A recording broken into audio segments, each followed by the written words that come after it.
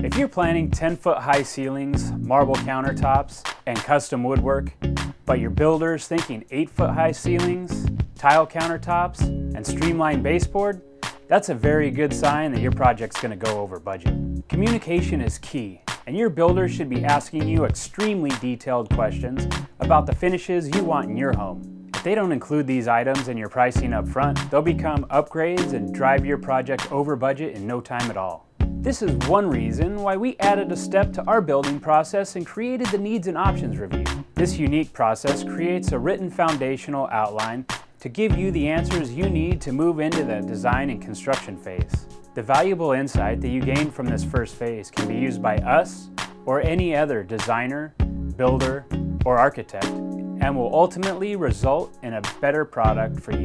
Don't shortchange your project. Book your needs and options review today at sbhomebuilder.com.